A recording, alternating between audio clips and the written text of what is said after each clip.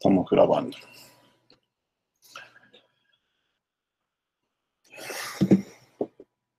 Bueno, vamos a comenzar. Eh, buenas tardes. Recibí su tarea. Eh, todavía no, no, la reviso, eso sí. Muchos de ustedes la, la acaban de subir. Eh, nomás recuerdo que eran dos archivos los que tenían que subir, el programa con terminación .pi y una imagen este, del algoritmo que podría ser pseudocódigo hecho a mano, podría ser con la aplicación PCInt o podría ser un diagrama de flujo también este, en formato libre. Pero esperaba esos dos archivos en su tarea. Eh, ya voy a comenzar a, revisar. Eh, hoy, el día de hoy no se van a llevar de tarea ningún programa. Yo creo que hasta, el miércoles se van a llevar algunos ejercicios, pero unos ejercicios muy fáciles de hacer.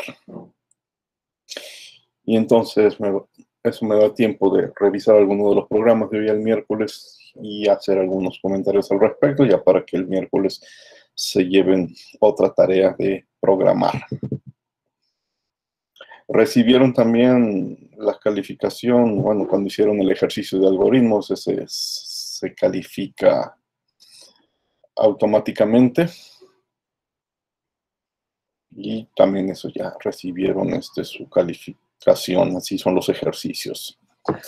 Bueno, el tema de hoy, el tema de hoy ya es según el, programa de Classroom, pues ya es lenguaje de programación Python.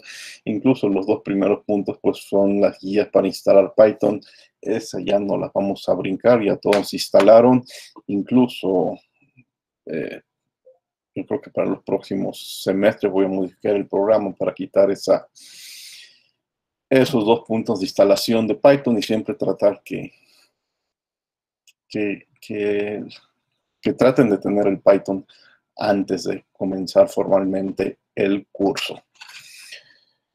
Eh, bueno, entonces, de todas formas, les presento, comparto la, pantalla para que vean el par de documentos que,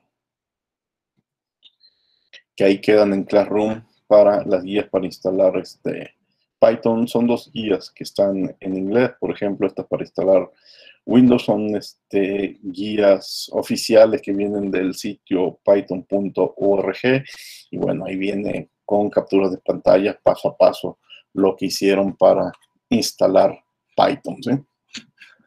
Y bueno, también ahí abajo hay otra para otras capturas de pantalla similares para instalar Python en una máquina con sistema operativo Mac OS. Bueno, eso ya no lo, no lo brincamos. Este, ya instalaron Python, ya lo utilizaron, ya usaron la aplicación idle, eh, ya nomás, pues ahora, una vez utilizada, presentarla formalmente. El idle viene por I de integrada, DL por desarrollo, development, y E por ambiente, environment. ¿sí? Es el, el entorno gráfico de Python. Es la forma más simple que tenemos de escribir programas.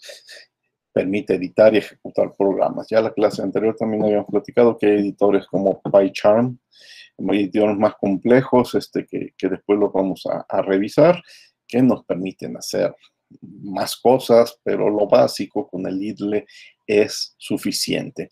Cada que abrimos Python y se despliega el shell del, idle, nos aparece una leyenda de con qué versión de Python estamos trabajando. Eh, todos ustedes instalaron la última versión y ya es 3.9.2 o .3, no recuerdo, pero eso se despliega eh, cada vez que abren el idle. El idle, este, si se fijan, aquí lo tengo abierto. Este, a mí me aparece con una pantalla muy grande, con unas letras este, grandes respecto a lo que posiblemente a ustedes les aparece. Bueno, yo me fui a las preferencias de, la IDLE y modifiqué el tamaño de letra este, con lo que quiero que me aparezca. Básicamente modifiqué esta parte del tamaño de pantalla este, en caracteres, este, lo ancho y lo largo, lo dejé en 110, 160.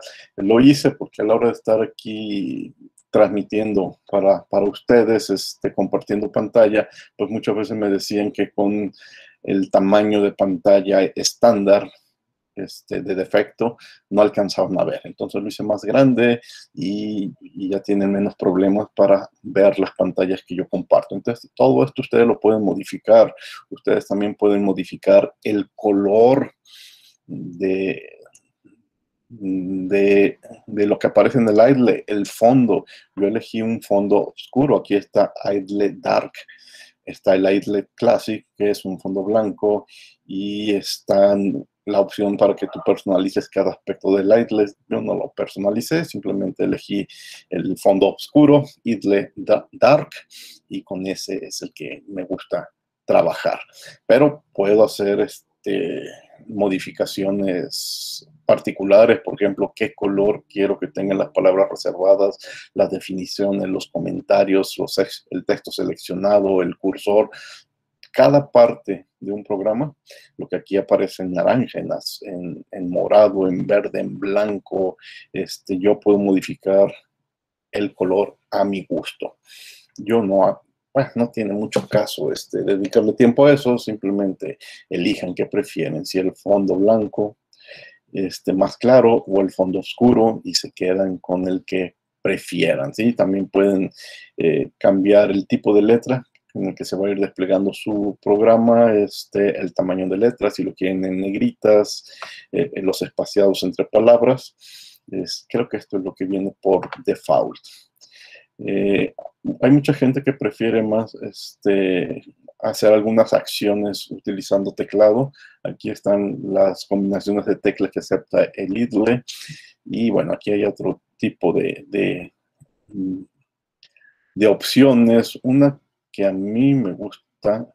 Bueno, aquí está, esta es muy cómoda para mí, este, eh, con F5. Muchas veces, la clase anterior cuando estaba corriendo el programa les decía, y doy clic en F5 y se corre el programa.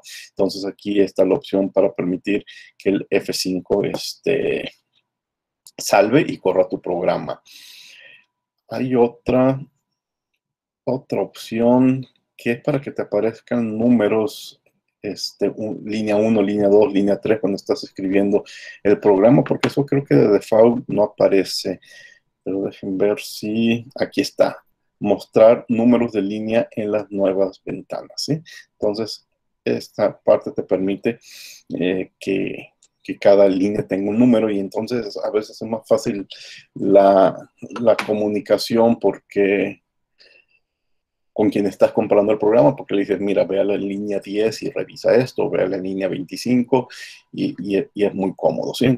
Sí les recomiendo que les muestren el, número de línea. Este, bueno, aquí ya no hay nada interesante, ¿de acuerdo? Entonces ustedes aquí en preferencias pueden modificar algunos aspectos del idle. Este, bueno, en el shell es el que utilizamos como calculadora, como también ahorita más, más tarde vamos a, a platicarlo. Y lo que hicimos la clase anterior, abrir un nuevo archivo y en ese nuevo archivo empezar a teclear nuestro programa, salvarlo, salvarlo en el lugar de la computadora donde prefieran, darle el nombre que ustedes prefieran. Y pues básicamente es lo que necesitamos saber del IDLE. Ahí les dejo este documento que se llama IDLE. Es un PDF que encuentran en Classroom. ¿Alguna pregunta? No, todo bien. No. Bueno. No.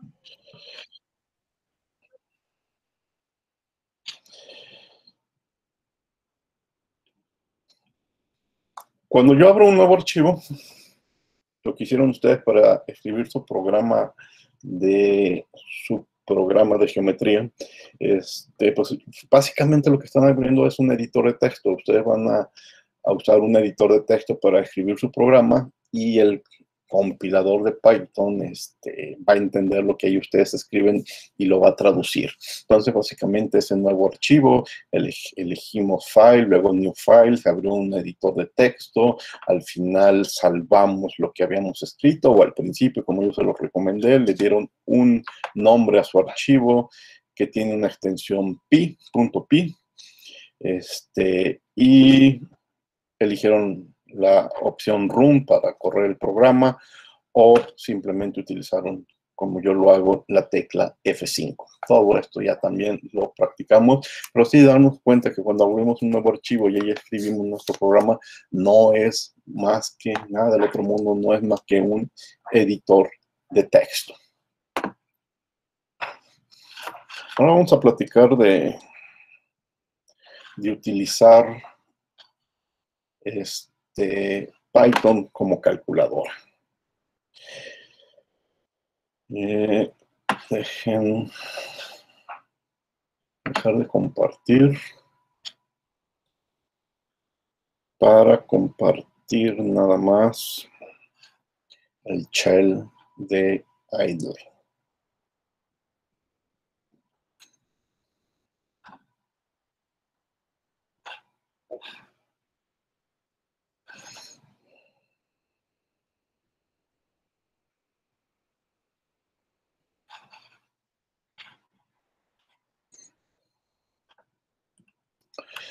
Bueno, ya lo había platicado en la clase anterior. Con, sin escribir nada extra, puedo hacer las operaciones básicas de una calculadora muy simple. Por ejemplo, lo había hecho 123 menos 45, puedo restar 123 por 45, puedo multiplicar 123 doble asterisco elevado a la cuarta, elevo potencia, 123 entre 45, hago una división, este 123 doble diagonal 45, me quedo nada más con la división con cociente entero, y 123 signo este, de porcentaje, no va, no va a ser ningún, ningún porcentaje, no, no, no confundir con cálculo de porcentajes, 123 este, 45 va a mostrarnos el resto de la división con cociente entero. en, la división 123-45, el resultado es 2.7333 hasta el infinito, la parte entera es 2, pero el resto de la división, cuando paramos en la parte entera, es 33. Hagan ustedes la división a mano y se van a dar cuenta que aparece ese 33, que es este, uno de los nombres que tiene, es como el resto de la división. Si se fijan aquí hice operaciones nada más con números enteros y me dio resultados números enteros. ¿Cómo me doy cuenta que Python los está tomando como números enteros? Porque no me escribe, por ejemplo, en, el primer, en la primera operación no me escribe 78.0. Fíjense, si yo a 12.5 le sumo 4.5, entonces el resultado no es un, bueno, es un entero, pero Python lo está tomando como un flotante. Y me doy cuenta porque aparece el punto cero. ¿Por qué hizo operaciones con flotantes? ¿Y por qué me reporta flotantes, aunque el resultado es un entero? Porque los datos eran flotantes. ¿sí? Este, si yo escribo 12.5 por 4.5, 56.25, pues ahí sí el resultado era un flotante. Entonces, esta parte, si no indicamos lo contrario, este, Python, este, si tiene que dar como resultado un, flotante, lo va a dar. Este, y si yo hago operaciones con flotantes, los resultados van a seguir siendo flotantes. 12.5 eh, división enteros 4.5, entonces que aquí espero un entero. 2.0 es un entero, pero Python lo está guardando como flotante y me doy cuenta, le repito, por la aparición del punto cero. ¿Qué pasa si hago operaciones que yo sé que no se pueden? 12 entre 0. Python me va a enviar un mensaje de error Y en estos tipos de errores me, sí me aclara qué tipo de error es, división por cero. Este, hay diferentes tipos de mensajes de errores que da Python. Este es el primero que platicamos, el de dividir entre cero. 67, ah, voy a escribir. 67 diagonal es doble diagonal cero. También es este, aparece de forma diferente, es una división entre cero, no, no podemos determinar parte entera, pero este, aparece con un mensaje diferente. Esta parte es igual cero división error, cero división error, pero aquí este, no, nos, nos da información de que aquí estaba dividiendo y aquí estaba buscando lo que llaman un módulo. Después veremos en un programa cuando hay posibilidades de que salga una división entre cero, cómo evitarlo y que no se corte el programa. Este, si tenemos, si tenemos varias operaciones en un renglón, la recomendación es utilicen paréntesis. Por ejemplo, 4 menos 3 más 2, ¿qué va a ser? Este, vamos viendo, al 4 le restó 3 y tenía 1, y al 1 le sumó 2 y me quedó 3. ¿sí? Pero si no, es, si no es eso lo que quería hacer, pues hay que especificarlo, porque quizás quería hacer esto. 4 menos paréntesis 3 más 2, este, y eso es menos 1. ¿sí? El 4 menos 3 más 2 ese sí es 3. Entonces, este, hay una forma que ahorita vamos a explicar de cómo Python va haciendo las operaciones que hace primero. Aquí como suma, suma y, resta tienen el mismo nivel de importancia, pues va haciendo lo que primero se va encontrando. Pero ahorita vamos a ver unas tablas, creo que sí ahora, si no más adelante, unas tablas de precedencia, que es lo primero que hace Python. Si tienes dudas, haz lo que harías también a mano, escribir paréntesis. Y con paréntesis, este, eh, eh, es la forma más clara en la que te vas a expresar. Este, por ejemplo, 3 eh, entre 4 por 5 entre 6. ¿Qué va a ser? Punto 600 25, este, hace las divisiones y luego multiplica. Si eso es, le repito, si eso es realmente lo, que quería hacer, este, pues está bien, pero si no, mejor este, usar este, usar este paréntesis. Bueno, otras, otras operaciones que podemos hacer que no sean nomás sumar, restar, multiplicar y dividir. Por ejemplo, obtener el valor absoluto de un término. ABS. Vean que cuando escribí ABS, A estaba en blanco, B estaba en blanco, y cuando escribo S, cambia a morado. Quiere decir que reconoce apps como una palabra reservada, y apps es este, la orden con la cual podemos encontrar el valor absoluto de un valor. Valor absoluto de 12, pues es 12. Valor absoluto de menos 3, de, menos 13, es 13. ¿De acuerdo? Para Python sí es muy importante mayúsculas y minúsculas. Entonces, este, si yo escribo apps menos 13, si se fijan, ABS no cambió de color no lo reconoce como una orden, como una palabra reservada. Es un error. Tampoco puedes escribir A primero mayúscula y el resto minúscula. Este valor absoluto de 12 también es un error. ABS no está definido. Esperaría Python que fuera una función que tú defines, pero no la has definido. Entonces, la única que cambia de color es apps en minúsculas. 2.35. Eh, otro, otra, este,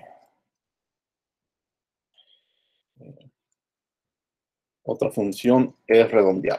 Con 12.558. No lo redondeo a 13. Este, redondear 12.500 ya lo redondeó a 12, entonces 158 lo redondea a 12. Ya cuando le puse el punto 56 lo redondeó a 13, cuando le pongo el punto 1 lo redondea a 12. Eh, miren, hasta ahorita hemos utilizado números enteros y flotantes. ¿Cómo puedo saber de qué tipo es un, número, una variable que estoy utilizando? Con la palabra reservada type. Si escribo type 12, el 12 yo sé que es un entero y me lo dice. La clase del valor 12 es int, que quiere decir entero. Pero si escribo type 12.0, este, al ponerle el 0, aunque sea un número entero, ya estamos diciendo que lo trabaje como un flotante y por el punto cero ya lo reconoce Python como un flotante. Tú puedes hacer una operación y no sabes cuál va a ser el resultado, por ejemplo, 98.0, eh, doble diagonal 76.0. Encerrar todo eso y encerrar la operación no me va a dar el resultado de la operación, me va a dar de qué clase de variable es el resultado de la operación. Va a ser un flotante. Cuando yo a 98.0 le hago esta operación respecto a 76.0, el resultado es un flotante 1.0. Pero cuando, si tenía dudas de qué tipo de variable es, escribo tal. Dirán, bueno, esto es muy simple, pues, no me cuesta ningún trabajo identificar un entero de un de un flotante, pero es que hay más clases de variables.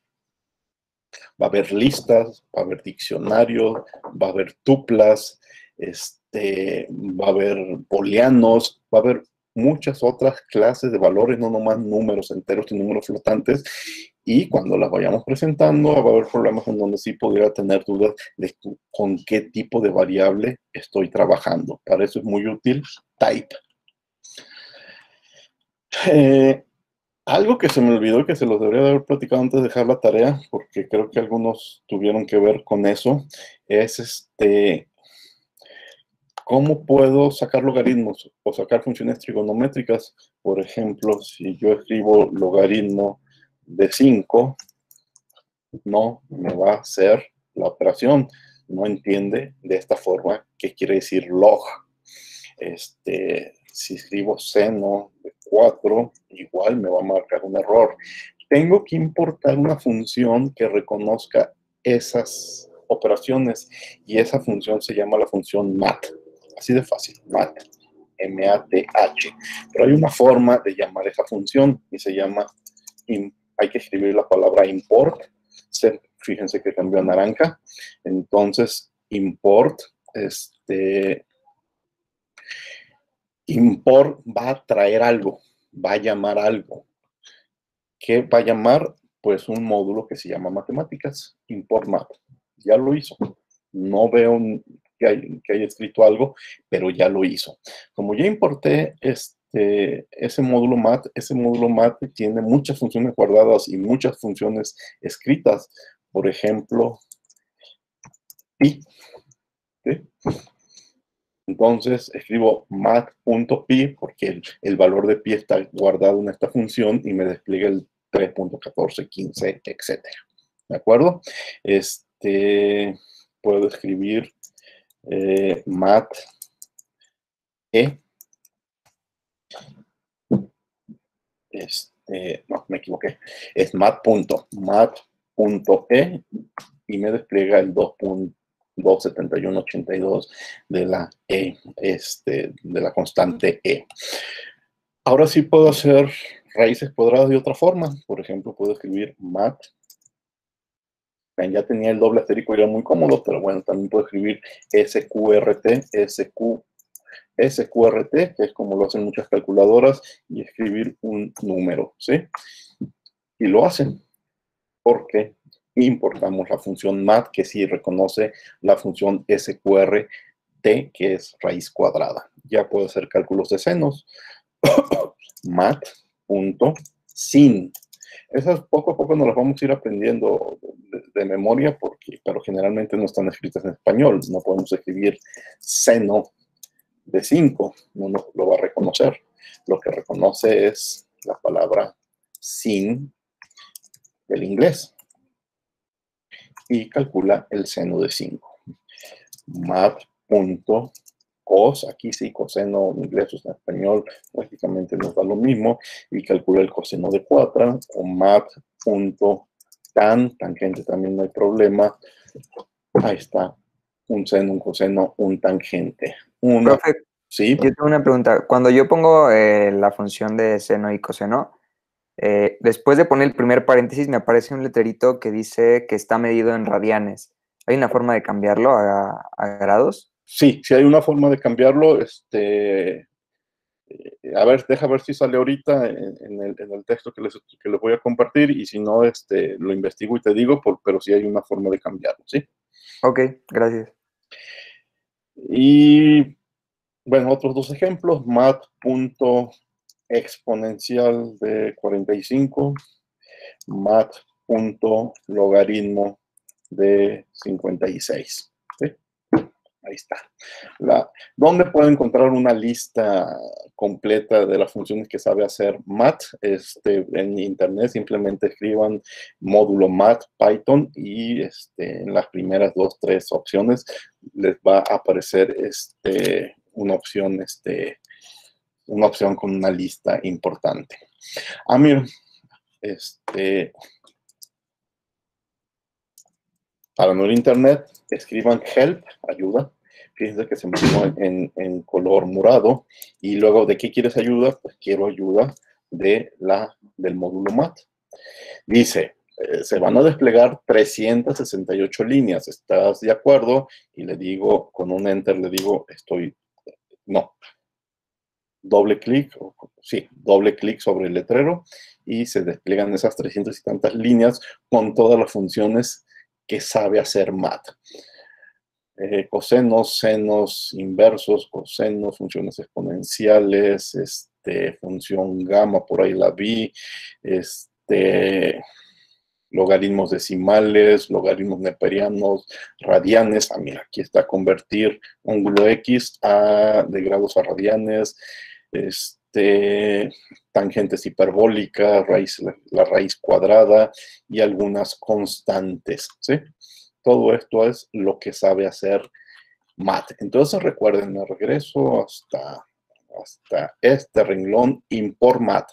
Aquí en el shell, si están utilizando el shell como calculadora o en su programa. Si en su programa van a usar ese tipo de funciones, que el primer renglón de, la, su programa sea import MAT y ya después este, siguen haciendo lo que aquí, lo que aquí este, escribimos. Eso ya veremos también algunos ejemplos de programas la próxima clase. Eh,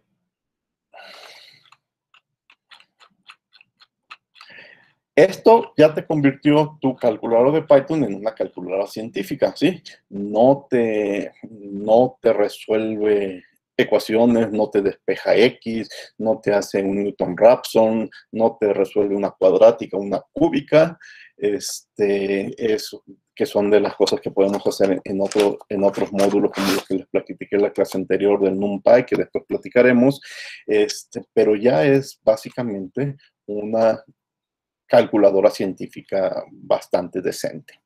¿De acuerdo? ¿Alguna pregunta? Todo bien. Todo bien, bueno. Dejen dejar de compartir. Bien, dos cosas que también ya utilizaron en, en la tarea. Este es pedir datos e imprimir datos les, estoy compartiendo esta, este sitio de internet donde trae un buen resumen de todo lo que podemos hacer, que es muy simple, con print y con input. Este, yo imprimo Este, bueno, dejen seguir también trabajando en el Lightly. Print, lo repito, lo que platicamos la clase anterior, entre paréntesis y entre paréntesis el mensaje. Si es un, un, texto, no el desplegar un resultado, pues entre comillas y entre comillas voy a escribir ese texto y entonces pues ya puedo escribir este lo que quiera, el mensaje que quiera. Van a ver que en muchas páginas, en libros de programación, todos escriben su primer ejemplo de print, es escribir el famoso hola mundo. ¿sí? Entonces este, ahí se despliega hola mundo. En, aquí en Python, porque utilice print, porque lo escribí entre paréntesis y porque el mensaje va entre comillas. Este, podemos, bueno, aquí van a encontrar muchas otras opciones, pueden concatenar lo que vamos a ver que se llaman cadenas, este, pueden incluir este, un mensaje y un resultado, como lo hicieron en las tareas, pueden poner tabulaciones y saltos de línea, algún día le vamos a dedicar tiempo a estas tabulaciones y saltos de línea, pero miren, dejen correr esta línea que está ahí para que vean cuál es el resultado. Si yo escribo hola, diagonal n, estas, diagonal n, son, diagonal n, líneas, diagonal n separadas, ¿qué va a pasar? Pues que después, entre cada diagonal n, se va a brincar un espacio. ¿por compartir la pantalla? Creo que no lo estamos viendo. ¿Qué no están viendo? Ah, es que no está compartiendo pantalla. ¿No estoy compartiendo? No, lo quitó hace como dos minutos. Como Sí, Perdón, pensé que estaba compartiendo. Ahora sí. ¿Sí vieron que les estaba compartiendo una página de internet? No, ¿verdad? No. Estoy compartiendo esta página de, internet eh, que está en el Classroom y estoy desarrollando algunos de los ejemplos que vienen aquí. Entonces lo que hice es escribir print, entre comillas, hola mundo, se desplegó el hola mundo, pero este último ejemplo este, es, fíjense, es un hola, diagonal n, está, diagonal n, son, diagonal n. Bueno, cada diagonal n significa, este, Python, príncate un renglón. Ya estas, hola, estas son líneas separadas. Esa es una muy buena opción para este, este, presentación. Voy a imprimir esta otra que dice diagonal T. Si utilizo la diagonal T entre Lola y la palabra tabulación, donde hay un diagonal T, me da un espacio, un espacio vacío. Este, este es muy útil, fíjense. Print, lo voy a copiar y pegar. Print, tres comillas, y un mensaje. ¿Qué va a pasar? Bueno, y termina el mensaje con otras tres comillas. Esas tres comillas va a hacer que Python respete la nomenclatura que aquí tengo, es decir, brincarse un espacio, dejar espacios vacíos. Fíjense, le voy a dar enter. Y es casi un copiar y pegar. Hola, ¿qué tal? Asterisco, asterisco, cambia de renglón cambia de renglón, este, hay un símbolo, el bla bla, cambia de renglón, también espacio, respeto a los espacios. Fíjense, voy a volver a escribir este print con tres comillas, pero le voy a quitar las tres comillas y lo voy a dejar en unas, en comillas simples, no en comillas triples. ¿Qué pasó? Esta parte está en verde y cuando me cambié de renglón, todo esto está en blanco, ya no lo reconoce marca un error. ¿sí? No, Python en, principio con comillas simples no te permite que te vayas a otro renglón a seguir escribiendo. Si lo quieres hacer, entonces no uses comillas simples ni dobles, usa triples. ¿sí? Entonces aquí con comillas triples ya te va a respetar el formato que tú hayas escrito, con espacios, con saltos de renglón es muy, para, también para cuestiones de formato, de presentación, es muy importante saber lo que puedes hacer con las comillas triples. Este, bueno, respecto a, a leer, a, leer datos, este, pues es lo que hicieron ustedes en, en su tarea. Hay una variable que se llama cadena y le piden al usuario, dame una cadena, y entonces la máquina va a imprimir. La cadena es lo que hayas escrito. Dame una cadena, escribo gato, enter, este, ah, bueno, es este, eh, eh, ¿por qué no me lo imprimió? Tengo que, hacerlo por partes. Fíjense, lo que pasa es que no estoy en un programa, estoy en el shell. Cadena, input, dame una cadena. Enter, y ahora sí le digo gato. Acabó. Ahora voy a copiar el segundo renglón. Imprímeme este, la variable cadena. La cadena es gato. Ahora sí. ¿De acuerdo? Es más o menos lo que hicieron ustedes, pero en el programa. Este, recuerden también algo que ya hicieron eh, en su tarea es decirle que el dato que van a teclear es un entero. Dime tu edad. Y la edad, 25 años. ¿Pero qué pasa si pongo 25.8? Va a marcar un error. Porque cuando preguntas edades, pues esperas un número entero. Quizás el poner INT y obligarlos a que sea número entero, pues funciona este, si tu programa es un, es un programa para recopilar datos tú quieres que das sea un número entero, ¿sí? Entonces, tienes que darle 25 y 25 ya lo aceptó, ¿sí? Recuerden que si no quieren que reciban números enteros, pues escribes el float y con el float pues ya te permite escribir el 25.8, aunque en este problema de edad, pues el 25.8 no tiene mucho sentido. ¿De acuerdo? Bueno, en esta página este, van a encontrar muchos otros ejemplos. Este, el hacer una elección, por ejemplo, fíjense. La variable se llama elección. Y te hace una pregunta. ¿Te gusta Python? Sí o no. Y tu elección es o S mayúscula o S minúscula. Si le doy S mayúscula, pues acepta el valor. Este, si, en un programa el siguiente renglón hubiera, hubiera sido si elección es S, entonces, ¿saben qué? Esto me va a funcionar más si, lo hago en programa y no en shell. Este, dejen abrir una, un nuevo archivo. Aquí está, un nuevo archivo. Y voy a copiar este pequeño programa. Dejen copiarlo primero.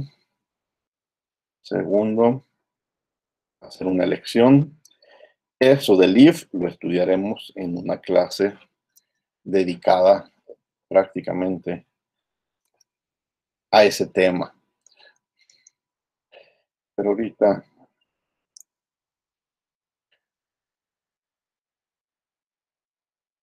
es Dejen copiar y pegar este programa y ahorita explico qué pasó. Si este programa lo quisiera correr, así como lo ven, me va a marcar errores. Dejen salvarlo primero. Salvar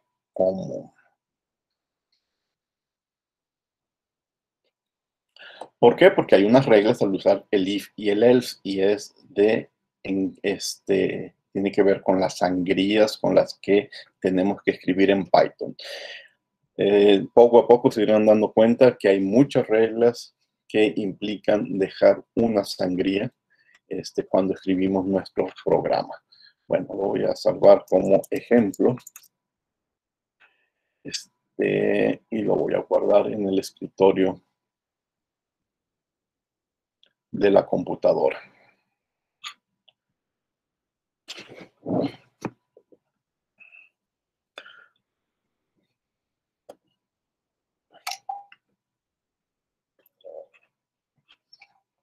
Bueno, vamos a explicar este programa. Hay una variable que se llama elección. Y esa variable elección va a tomar un valor que el usuario le va a teclear. Pero antes al, usuario le van a preguntar, ¿te gusta Python? ¿Sí o no? SN lo entendemos nosotros fácil, que es un sí o es un no. Entonces el, el, usuario va a teclear un S y un N. De nuevo, algo que les había comentado el caso anterior, aquí le estamos diciendo al usuario que teclee una S mayúscula o que teclee una N mayúscula, pero sabemos que el usuario este, muchas veces este, no se va a fijar en ese detalle y va a teclear minúsculas. Entonces, la siguiente renglón dice, si la elección fue S, todo esto básicamente dice si la elección es S, con excepción de esta parte. Esta parte, que en su momento lo explicaremos con más detalle, le está diciendo que al, a los caracteres alfanuméricos que el, te, que el usuario tecleó, que si eran minúscula, los dejen minúscula, pero que si eran mayúscula, los convierta en minúsculas. Entonces, Python lo que recibe es, escriba lo que escribe el usuario, es una minúscula. Con esto, tú evitas tenerle que explicar al usuario que que escribe una mayúscula. Porque el problema contrario podría ser el mismo, que tal si el usuario siempre escribe minúsculas, pero por ahí hay una persona que lo hace este, en mayúsculas, pues tendrías que convertirlas o, o, siempre a mayúsculas o siempre a minúsculas. Aquí con lower lo vamos a convertir a mayúsculas y escriba lo que escriba el usuario. Eh, Python va a recibir siempre una minúscula. Si escribiera upper, este, upper, entonces lo convertiría siempre a mayúsculas y el efecto sería el mismo. La cosa es no estar este, molestando al usuario con que fíjate que efectivamente sean minúsculas o fíjate que efectivamente sean mayúsculas. Bueno, si se cumple esa condición de que sean, es, bueno, si, si su elección fue sí, que le dé un mensaje, que la computadora le diga sí, a mí también, a mí también me gusta Python. ¿Sí? Fíjense otro detalle. Cuando le di Enter, como hay un if, me dejó un espacio, me dejó una sangría. Eso es una de las cosas que vamos a aprender cuando expliquemos if, que después de que todo lo que se ve afectado por la condición sí, tiene que ir separado por una sangría. Bueno, el else es un si no. Si no, si no solamente hay una opción. Si no, es que escribió N. Si no, entonces no tienes que investigar que fue N o que no fue N, porque nada más podía escribir dos cosas, S o N. Entonces, darle un mensaje, deberías de probarlo, es un buen lenguaje de programación. Y ese es, un, ese es una especie de diálogo que, que podrías establecer entre el usuario y la computadora. Ahora, ¿qué pasa si alguien teclea una P, una R por error? Ahorita lo vemos. Vamos a correr el programa. ¿Te gusta Python? Yo escribo una S minúscula y me dice, a mí también. No le importó minúscula, mayúscula. Lo vuelvo a correr. ¿Te gusta Python? Una N y minúscula porque yo no tengo activado lo de mayúsculas en mi teclado. Ah, pues deberías de probarlo. Es un buen lenguaje de programación. Este, si, si yo sí me estoy fijando en las minúsculas o mayúsculas, pues el resultado es, es el mismo. ¿Te gusta Python? S mayúscula, a mí también. F5, este, ¿te gusta Python? N mayúscula, como me lo pide, pues, no hay problema, deberías de probarlo. Eh, el detalle es qué pasa si me equivoco y, yo escribo una P. Te dice algo que no, que, que, ya, que ya es incorrecto, ¿sí? Fíjense, como else quiere decir cualquier otra opción, entonces teclees lo que teclees, te va a contestar como si, si dijiste que no. Entonces quizás aquí deberíamos de modificar un poco este programa y decirle si es S, a mí también. Si es N, deberías de probarlo. Cualquier otra opción, ¿sabes qué? No te equivocaste. Este, prueba, este, vuelve a, a contestar, porque cualquier mensaje que digas te equivocaste o que la letra que tecleaste no es, no es una opción válida. Pero aquí, con el else, le estamos diciendo que cualquier otra opción, sea N o sea cual, o cualquier otra letra o, o, una palabra, este, lo toma como N. Este es un defecto de este programita, ¿sí? Ustedes vayan pensando cómo corregirlo, por ejemplo. Sí, dime. Eh, si después del else le metes otro if, como, eh, o sea, que si no tecleas sí, entonces el, el else sería otro, otro if que dijera que tiene que ser que no, y cualquier otra que sea que no, eh, ya le puedes poner que, que imprima, esa no es una opción válida o algo así. Sí, eso es lo, lo que vamos a hacer después. Mira, no hay que hacerlo rápido, nos quedan 10 minutos, lo puedo hacer rápido. Y más que el if es el, es, bueno, lo vamos a hacer con if, todavía no nos vamos a adelantar, con if, if elección punto lower, este, paréntesis vacíos, doble signo igual, después vamos a platicar porque estoy escribiendo doble signo igual y no un, un igual simple, este, comillas, n, eh, dos puntos, esos dos puntos también después los vamos a platicar, son obligatorios cuando utilizamos este if, deberías de probarlo. Cualquier otra, este, no has tecleado una opción válida. ¿Sí? Algo así quedaría. Vamos viendo F5, ¿te gusta Python? Sí, ándale, cometí un error. No me da el, a mí también, pero también me da el, el, este, no has tecleado la opción válida.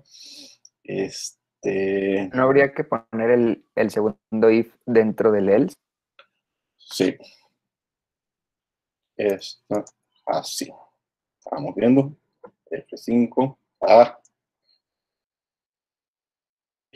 un problema de, de, sangrías. Ahí está resuelto. F5. ¿Te gusta Python? Sí. A mí también. Ahí está. Fue eso. F5. ¿Te gusta Python? No. No. No hasta. Sí. No, este, mm, lo, estoy haciendo mal, este, porque fíjense, vean, vean la lógica, este, ya, ya no me da tiempo de, corregirlo, pero nomás quiero vean la lógica. Si es sí, a mí también, pero luego, si fue sí, sigue haciendo esto, pero como ya fue sí, no fue no, entonces este programa está mal escrito. Este, el miércoles empiezo con este programa este, bien escrito, pero aquí caí en una trampa de este if solo va a suceder cuando el primero sucede, ¿sí? Pero como el primero es sí, pues este y este es no, no se pueden dar los dos a la par, entonces todo esto está mal, esto, todo esto nunca va a aparecer, este, por eso está mal, ¿sí? Este, pero ahorita ya en cinco minutos sería algo muy apresurado, lo dejo pendiente, aquí nos quedamos, este, y el miércoles les digo cuál es la, la, la opción válida. Bueno, el tema no era if y else, ese es un tema como hasta dentro de 15 días, darnos cuenta que eh, tenemos que usar doble sin igual, darnos cuenta que tenemos que usar este doble punto, darnos cuenta que tenemos que usar este sangrías, darnos cuenta, este, bueno, básicamente eso, e, esto ya es extra, esto ya es otro tema, ¿sí? Pero lo, lo, lo, lo dejamos pendiente y bueno, con más detalle, más o menos como en 15 días, ¿de acuerdo? ¿Alguna pregunta? Ah, bueno, antes de que me hagan preguntas, este, aquí van a aparecer dos ejercicios de cálculos básicos como calculadora, muy sencillos, y otro de input. No sé por qué los de cálculos básicos no han aparecido. Ahorita deberían de aparecer. Si me equivoqué, ahorita los corrijo, pero este, tienen ya que aparecer este... Ah, no, ya aparecieron. Este, este ejercicio, cálculos básicos 1, cálculos básicos 2 y esta función de input son los tres. Los tres se hacen en 15 minutos, por, aunque les pongo como límite el miércoles antes de que inicie la clase. ¿sí? Entonces, por favor, hagan esos tres ejercicios este, muy, muy sencillos y nos quedamos con este programa medias para el miércoles. Ahora sí, ¿alguna pregunta? De mi parte, todo bien. Este, Bueno, entonces es todo por hoy. Nos vemos el miércoles este, eh, ya con un nuevo tema. Prácticamente el, el print del input está, está concluido. Vamos a empezar a hablar de los diferentes tipos de variables porque no nada más es enteros y flotantes. Hasta entonces, que estén bien. Gracias, profe, igualmente. Gracias, profe.